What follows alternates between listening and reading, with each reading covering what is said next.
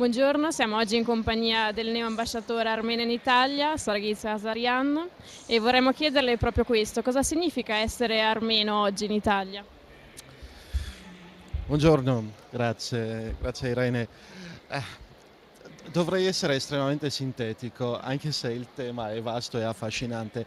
Essere armeni in Italia, eh, essere armeni in Italia vuol dire essere eh, testimoni della storia italiana eh, degli ultimi, o della penisola, degli ultimi 1500 anni. Possiamo raccontare questa storia attraverso le narrative armene, delle comunità armene che hanno eh, a lungo abitato sulla penisola. Ma in tempi molto, molto recenti essere armeni in Italia eh, vuol dire ha voluto dire partecipare alla lotta partigiana, contribuire al, a far sì che l'Italia diventasse quella che è oggi.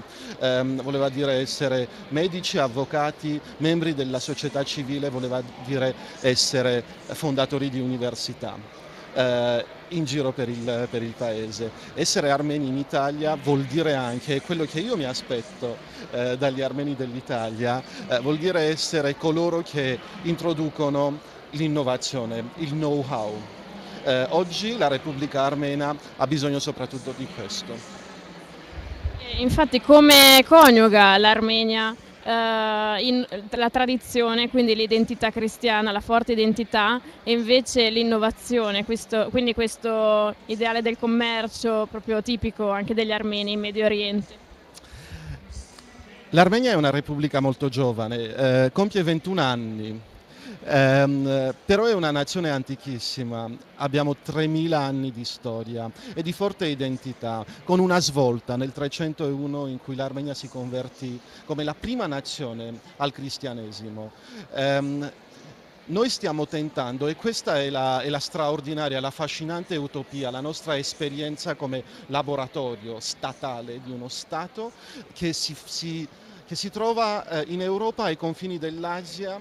Um, oggi parliamo dell'emergenza uomo, dell'emergenza eh, dei cristiani in Medio Oriente. Bene, noi quel, a, a confine con quell'area geografica stiamo realizzando un'utopia, uno Stato moderno, democratico che si basa su valori cristiani.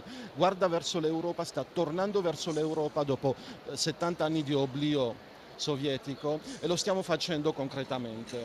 Um, la civiltà europea, l'identità europea eh, è un locus a cui abbiamo appartenuto, a cui abbiamo contribuito a far sì che diventasse quella che è. Um, e ecco, abbiamo questa straordinaria possibilità oggi di realizzare un'utopia, Stato moderno basato su eh, valori cristiani.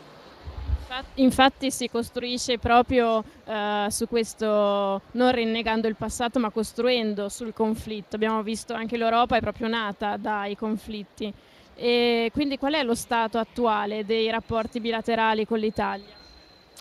Um, io direi straordinario. Um, e, e, questo fa parte, è, è il, um, sta alla radice del mio mandato ehm, di rappresentare l'Armenia in Italia eh, e credo che non, eh, è il ruolo e la funzione e la missione di ognuno dei miei colleghi, ambasciatori di qualsiasi paese, di far sì che si avvicinino eh, no, le posizioni. Nel caso italiano in realtà ehm, non abbiamo contrasti, abbiamo semplicemente opportunità ehm, e, e, e, facciamo del nostro meglio con colleghi italiani di sfruttare al meglio le opportunità che in questo caso particolare ehm, sono di tipo politico e cioè il nostro cammino verso l'Europa, ma è un cammino senza sbavature con altri attori regionali, la Federazione russa o gli Stati Uniti, eh, quindi è un approccio inclusivo.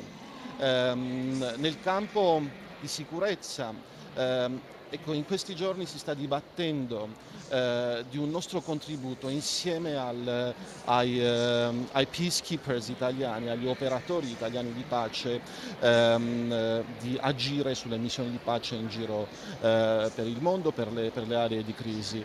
Ehm, e naturalmente c'è una dimensione economica ehm, e quella di capitalizzare sulle reti, sull'innovazione ehm, e sul, ehm, sui giovani.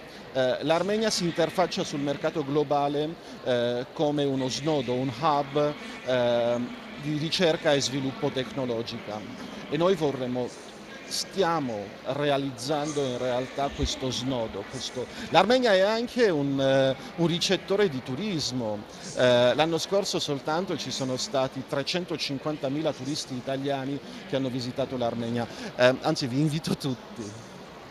E si dice che l'Armenia è fatta da pietre, pietre urlanti di libertà. E rispetto al meeting, quali sono le sue sensazioni? Che cosa porta quando tornerà a Roma all'ambasciata?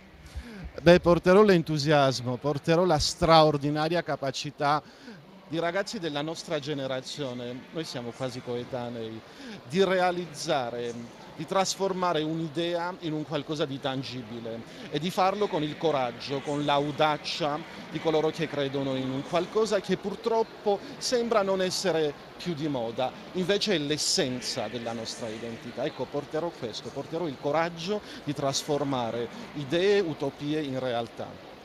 La ringraziamo moltissimo e alla prossima. Grazie. Grazie mille.